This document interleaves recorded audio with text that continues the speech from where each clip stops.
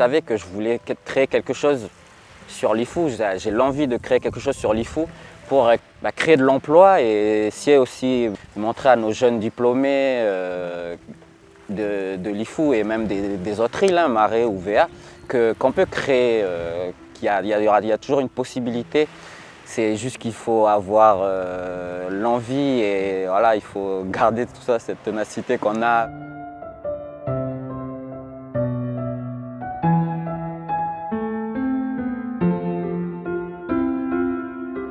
On a toujours la citation du grand chef de, de qui dit qu'on n'a pas, les ressources minières, mais nous, on a les ressources humaines. Justement, c'est ça qui, peut, nous faire sortir en fait, de, cet exode des îles vers, la capitale ici à, Nouméa.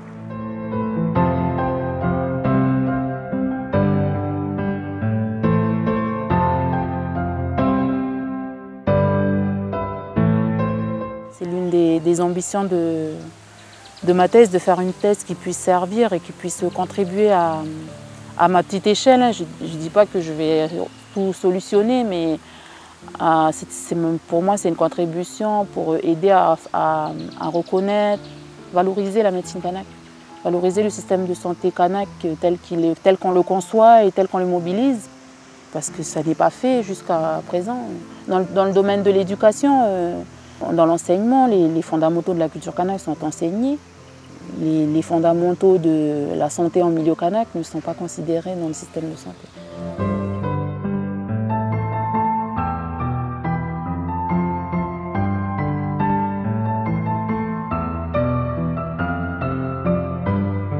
Que ce soit l'un ou l'autre, mais ces recherches vont, servir au développement, de la construction de, ce pays. Quoi. Et pas uniquement pour la, pour la Nouvelle-Calédonie, mais ça, ça, va aussi rayonner. Et quand on voit le, développement, par exemple, de, de, nos partenaires de Vanuatu et des pays voisins, c'est des, des, choses qui, euh, qui pourront euh, apporter pour le développement de la région.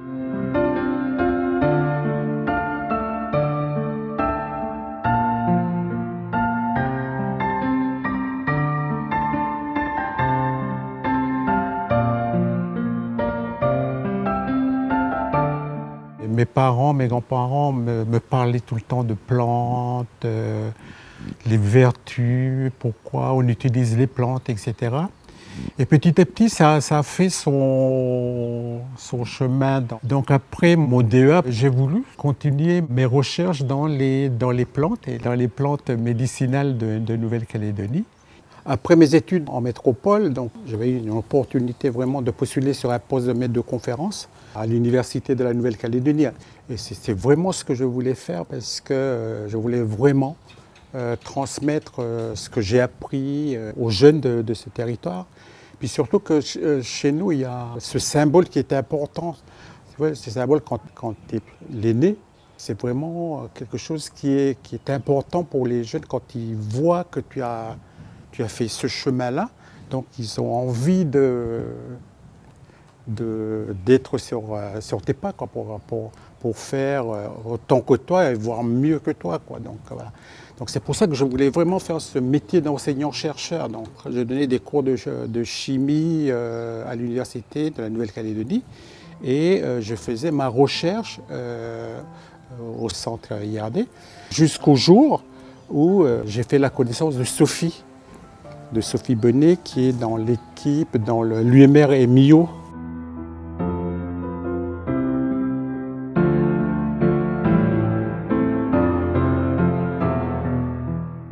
été contacté par les chimistes des substances naturelles euh, qui travaillaient à Nouméa sur la recherche de substances potentiellement euh, valorisables euh, dans les végétaux terrestres de Nouvelle-Calédonie. Et on a eu l'idée de commencer à regarder ensemble ce que pouvaient contenir ces microalgues isolées du Pacifique Sud que l'on avait commencé à, mettre dans une banque, une souchothèque de, de microalgues. Elle me disait, écoute Edouard, avec, euh, si tu t'intéresses avec tes collègues de l'université, on a un jeune de l'IFU, qui, est hein, qui, qui, euh, qui, a fait son, son, master avec moi et qui, euh, qui veut se lancer sur une thèse sur les, les algues, les, cyanobactéries. te dit, mais il n'y a, pas de souci. Euh, moi, je, suis du, euh, travaille sur le milieu terrestre, mais euh, sur, le, sur le milieu marin, les techniques d'extraction, de purification des produits, des compositions chimiques, c'est exactement la même chose. Donc, il n'y a, pas de problème. C'est comme ça qu'a germé l'idée de la thèse de, de. Ces microalgues, en réalité, ce sont des cyanobactéries, hein, donc des bactéries photosynthétiques. Il y a plusieurs euh, types hein, qui existent. Euh, notamment, il y a deux grandes formes. Des formes qui sont unicellulaires, donc ce sont des cellules qui sont rondes ou ovales, et des formes qui sont filamenteuses, donc qui font des longs filaments qui peuvent s'agréger entre eux et former des, colonies. Certaines, on peut les même les voir à l'œil nu, elles, font des, efflorescences, des blooms à la surface euh, du lagon ou de, l'océan. On les appelle trichodecium, elles sont vraiment très très répandues euh, dans le Pacifique Sud. Dans ma première année de master, en fait, j'ai eu, euh, j'ai eu une petite fille j'ai eu une petite fille et en fait à l'issue de ce Master 2, ben, je pensais directement euh, chercher, enfin rentrer dans la vie active pour, euh, ben, pour subvenir à ses besoins quoi. Et, et j'ai cherché, j'ai cherché, j'ai commencé à chercher en fait avec, euh, avec ce qui correspondait en fait à mon, à mon diplôme. Enfin, je suis resté peut-être sept mois en tribu. C'est un cousin de ma tribu, il s'appelle Charlie Zango. Bah, du coup, lui, il avait réalisé aussi également une thèse de doctorat avec l'IAC. Et il m'a vu euh, sortir des champs et il était, on va dire, il était en colère par rapport à mon, par rapport à mon diplôme de master euh, sur les, sur, en microbiologie où il disait que je ne mettais pas en valeur en fait, ce diplôme pour l'avenir du pays, pour l'avenir de notre île. Et c'était quelqu'un qui nous encourageait tout le temps dans les études, il nous poussait tout le temps. Quand je lui ai dit qu'il y avait potentialité de faire une thèse de doctorat, il m'a tout de suite encouragé justement à, aller dans cette voie en fait de, thèse de doctorat. Il m'a dit que c'est vrai que la, vie tribale c'est bien. Il y a des gens qui sont faits pour euh, vivre, enfin pour, pour, faire vivre notre, coutume et de, vivre à, la tribu. Et du coup, euh, il me disait que nous, justement, on n'a pas beaucoup de, de gens en fait dans, qui, sont allés loin euh, dans les études et c'est à nous de montrer, euh, montrer l'exemple, justement de montrer la route aux petits frères et petites sœurs qui vont venir après. A un peu un devoir de grand frère. Monsieur Naoya, oui, son, bah, son rôle il a été important parce que euh, bah, en tant que Kanak, en fait, il connaît les, les barrières que l'on doit franchir pendant la thèse de doctorat. Mais c'est vrai que nous, en tant que Kanak, on devait jongler entre la vie familiale, c'est-à-dire la vie coutumière, entre les deuils, les, mariages, on a, une responsabilité d'être présent pour tous ces, tous ces aspects-là. Je lui ai dit tout de suite hein, qu'il fallait que, je sois autant présent dans la, vie, euh, dans la vie familiale, la vie coutumière et la vie de recherche. Je l'ai eu aussi en prof euh, à l'université, en prof de, chimie. Et bah, de voir, euh, c'est vrai que de voir un, un vieux de l'IFU enfin un vieux, voilà, de voir un vieux de l'IFU en, tant que prof à l'université, doctorat, maître de conférence, quand on le voyait, nous, on se disait déjà que c'est possible. Dans le cadre de la thèse d'Emeric, il y avait un volet fondamental et un volet qui était plus appliqué sur la recherche d'un potentiel de, valorisation dans ces, euh, dans ces souches isolées du, Pacifique Sud. Donc on connaît, c'est rien, il n'y avait rien qui avait été fait sur le sujet. Donc on a commencé à défricher, on a commencé à regarder tous azimuts, euh, s'il y avait des effets euh, antibiotiques, antioxydants, euh, enzymatiques contre le vieillissement cutané. Les résultats, ils ont montré qu'il y a un, potentiel fait, sur les organismes, sur, les cyanobactéries hein, qu'on retrouve en grand nombre ici dans le lagon calédonien, notamment justement dans le domaine du cosmétique. Quand on lui demandait avec Edouard Naouya comment tu envisages ton futur, il faudrait que tu anticipes ce que tu veux faire. Et rapidement, il s'est dit mon futur, c'est d'aider mon pays. Et il a eu cette idée de, monter une entreprise innovante ou start-up. Après de longues discussions avec euh, M. Naouya et euh, également avec les gens euh, du service environnement de la, province des îles Loyauté, l'idée de projet de création d'entreprise, de, de, production de microalgues et d'extraction destinée au secteur du cosmétique, il est tout de suite apparu très tôt hein, et, la province des îles, il a, tout de suite adhéré. Donc je vous montre ici euh, quelques exemples de microalgues ici, des lagons euh, calédoniens vus en microscopie. Et alors, euh, sur ces extraits-là, là, on les maintient en petit volume. Et ensuite, Emmerich, qui fait son doctorat ici, les cultive en plus grand volume. Mais il peut vous en dire un mot pour vous dire ce qu'il fait ensuite au niveau valorisation. Je vais, ben, je vais les récolter, je vais faire une extraction chimique. Là, c'est mon travail avec M. Naouya. Et en fait, je vais à partir des extractions chimiques. On est arrivé à discuter avec la province des îles hein, sur, le, sur le projet. Euh, la province des îles était intéressée par son profil. Ils ont tout de suite euh, adhéré au projet d'Emeric, c'est-à-dire après la, sa thèse, euh, voir comment lui, il peut, avec nous, avec moi et puis Sophie, et Fabrice Collin, puisqu'il est dans l'équipe dans projet, monter cette, cette start-up sur le développement de la filière cyanobactérie dans la province des îles. Petit à petit, euh, avec Edouard, ils ont pris des contacts euh, aux îles Loyauté, avec la province des îles, donc les institutions qui ont soutenu Emmerich et lui ont proposé euh, de transformer l'essai scientifique des premiers résultats encourageants qu'il avait obtenus dans le cadre de sa thèse et de transformer l'essai dans le cadre d'un postdoc de deux ans qui a été augmenté d'une troisième année du fait de la pandémie. Et aujourd'hui, euh, il est en discussion avec la province pour euh, essayer de trouver un cadre économique euh, à la création de son, de son entreprise.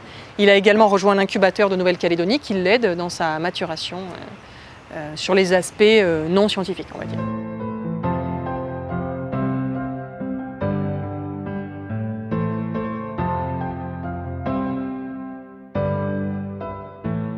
En milieu kanak, la bonne santé, ça consiste à un équilibre entre euh, les relations de l'homme euh, avec d'autres humains, mais aussi avec les éléments non humains. Il y a l'individu, il y a la nature et la société. Être en bonne santé, ça consiste à avoir, être en interrelation entre ces trois éléments-là. L'harmonie, en fait, ou l'équilibre, ou le bien-être, ou le bien-vivre de ce système-là, il est régi par des lois, des règles ce qui m'a fasciné dans la, médecine kanak ou de manière générale, dans la manière dont on considère notre santé, c'est des pratiques qui nous ont, qui nous ont permis d'être toujours là aujourd'hui. Ce qui m'a un peu froissé ou ce qui m'a questionné un peu, c'est le fait qu'on délaisse beaucoup de pratiques. On, désinvestit euh, des, des, des, pratiques euh, préventives qui participent à entretenir, comme je disais, notre capital santé au profit bah, d'une de, les délaisser, de quelque part négliger notre santé, mais aussi euh, de, courir chez le médecin. Je donnais l'exemple du doliprane. On dirait qu'on a peur de tout le temps être malade, de euh, et du coup on est tout le temps avec ce comprimé sur soi. Et donc à partir de là, j'avais ces questionnements-là et, euh, j'en ai parlé avec Edouard parce qu'Edouard c'était un peu une référence dans le domaine de l'étude de la, de la pharmacopée Kanak.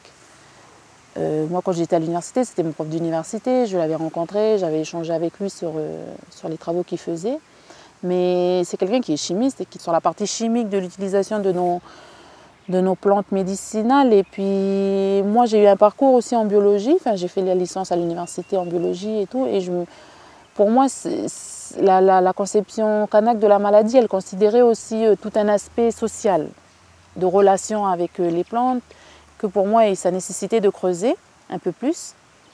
Et euh, en échangeant toujours avec Édouard et Catherine, avec qui j'ai fait mon stage de master, ils m'ont ainsi poussé à me mettre en thèse, enfin, pour dire que c'est un, un, questionnement qu'il faut approfondir et que le, le, cadre de la thèse me permet euh, d'approfondir ce questionnement-là.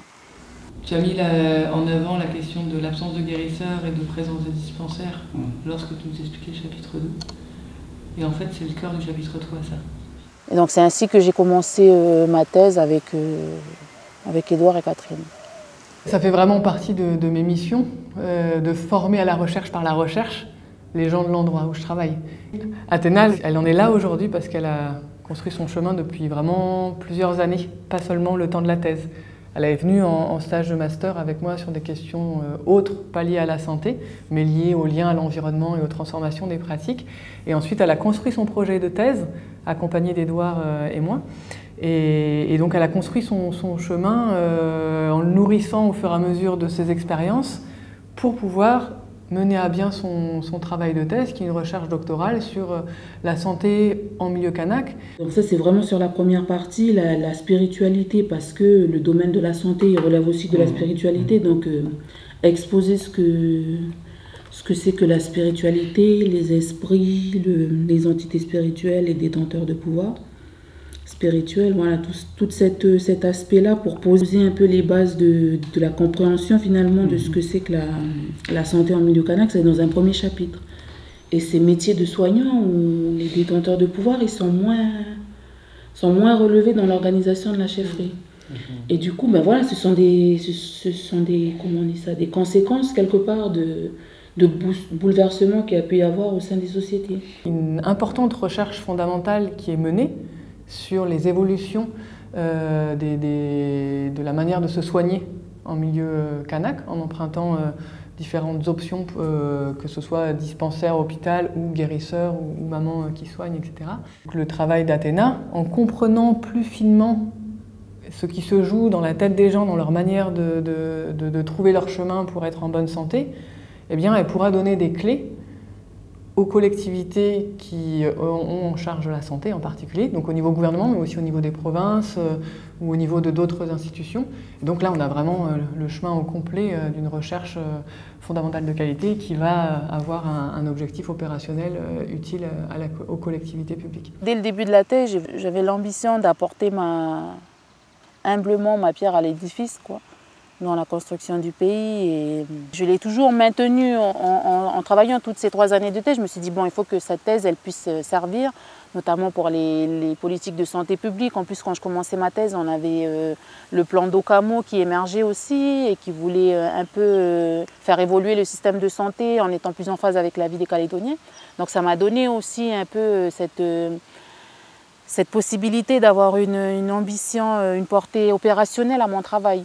Et c'est ce que je fais dans, dans, ma rédaction. En fait, je me, je me dis tout le temps dans, dans la manière dont j'écris ma thèse que dis-toi que ces personnes, des personnes, des institutions euh, qui décident de comment est-ce que le, le, système de santé va fonctionner, des réformes et tout, ils vont lire ta thèse et que ça va les aider à mieux comprendre la médecine, euh, la médecine ou comment les gens ils, ils, appréhendent leur santé et ils la soignent. Donc euh, oui. Oui, dès le départ, moi, ma thèse a l'ambition de pouvoir servir et notamment euh, à faire euh, intégrer, reconnaître, valoriser le système de santé euh, kanak dans le système de santé euh, calédonien en fait. Et oui, on n'arrive pas en anthropologie si on ne s'intéresse pas aux autres, je pense.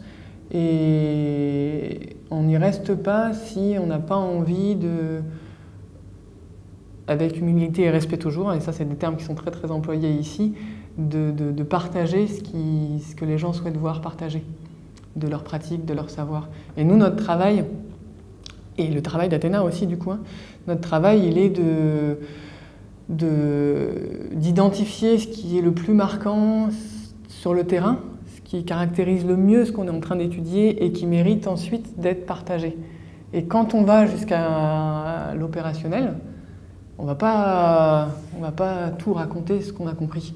Par contre, on va ressortir les éléments clés qui, on l'espère, peuvent servir euh, à l'ajustement de la politique publique. En, milieu kanak, l'événement, il est interpellant. C'est-à-dire que c'est un problème qui va venir interpeller, une situation, un fait, un drame. À partir du moment où tu es interpellé par quelque chose, tu vas te, te questionner s'il n'y a pas quelque chose qu'on a mal fait ou si on n'a pas enfreint certaines règles. C'est la persistance du problème le fait que, ok, ça y est, j'ai résolu ce problème-là, je vais le gérer tel qu'il se présente, mais il va se reformuler d'une autre manière. On a une notion en Tchad qui dit le, le c'est-à-dire qu'on est poisseux, où il y a quelque chose, il y a, une accumulation de phénomènes, de problèmes. À un moment ou à un autre, les gens, euh, ils vont se questionner, ils vont se questionner pour dire il y a quelque chose qui ne va pas, qui fait que, que mon problème il persiste.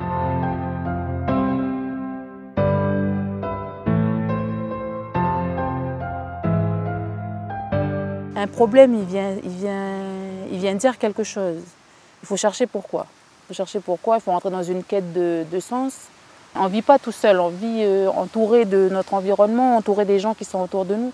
Donc forcément, il faut chercher aussi l'origine de ce qui nous arrive dans, dans le milieu dans lequel on vit. Et des fois, ça remonte très très loin. C'est vraiment des choses qu'on hérite aussi de. C'est peut-être pas nous à l'échelle de notre vie, mais à l'échelle de nos parents et de nos grands-parents. Et le changement, c'est que ça se fait de manière moins systématique. Ça se fait sur une temporalité plus grande, mais la thèse montre que après euh, trois années de travail, euh, cette quête de sens est toujours présente. quand je reviens sur, euh, sur, sur l'IFU ou sur les îles, ou quand je vais me, promener sur la Grande Terre, hein, donc j'ai toujours plaisir à, regarder, à voir les plantes, avec un œil nouveau, puisque avec les, connaissances que j'ai. bon, je connais telle ou telle plante, je sais de, la composition de telle et telle plante, mais avec quand même un regret que euh, les connaissances euh, sur ces savoirs liés euh, aux usages des plantes se perdent petit à petit. Et si on ne fait pas ce qu'il faut maintenant, eh ben, ces, connaissances vont se perdre. Et le travail que fait Athéna hein, sur, la, médecine traditionnelle ben, participe, ce travail va participer à, euh, sauvegarder ce patrimoine et à euh, perpétuer ces savoirs euh, pour les générations futures. Eh ben, ces pratiques-là, elles sont toujours là et elles se font moins elle, se voit moins de premier abord, mais en fait, quand, justement, quand tu questionnes les, itinéraires du soin, tu vois que, ah oui, mais euh, sur d'autres temporalités, oui, les gens, ils, utilisent. Euh, ce qui a changé, c'est que c'est moins systématique qu'avant, mais c'est toujours là. Il y a beaucoup plus d'étudiants d'ici qui font des formations euh, sur des disciplines de sciences dures que sur des disciplines de sciences sociales. Et pour autant, il y a énormément de travail à faire en, sciences sociales et en anthropologie en particulier. Et donc, euh, avoir Athéna euh, dans l'équipe euh, et pouvoir l'accompagner, ben, peut-être c'est elle qui sera chercheuse à l'IRD ou maître de conférence à l'université ou, ou à son compte pour pouvoir répondre à des, à des, à des questionnements que se posent les, collectivités publiques, par exemple. Et bah, c'est important que ce soit des gens d'ici qui puissent, euh, qui puissent faire ça. Donc ça, c'est vraiment quelque chose qui me tient à cœur et que j'apprécie beaucoup de faire avec, euh, avec Athéna.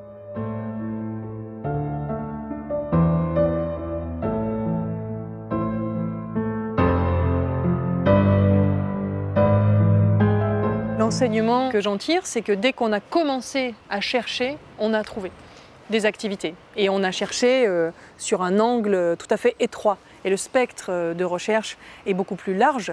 Euh, et je pense que cette, cette sous-chauthèque euh, de, de, microalgues du Pacifique Sud, alors du lagon mais également de l'océan hauturier, a un potentiel, je pense, absolument incroyable, qui reste à découvrir. Ce qui m'a beaucoup incité aussi à faire de longues études, c'était le, fait que mes parents et surtout ma mère en fait n'a pas, eu le privilège de continuer ses études. Elle me racontait avant elle était très bonne élève, hein, elle avec euh, ses frères, ses, cousins, sur Yengen. Et que souvent il y avait un. Elle me racontait, il y avait un type d'apartheid euh, à, l'école sur Yengen même en étant première de la classe, on les orientait tout de suite et dans la professionnalisation. Mais nous, on fait partie d'une nouvelle génération. On a, on a différents outils maintenant disponibles. On peut aller loin dans les études pour participer justement au développement de la Nouvelle-Calédonie. Mais voilà, ces travaux-là, euh, c'est un peu, un peu euh, un petit clin d'œil pour, euh, pour, pour l'ancienne génération et surtout pour mes parents.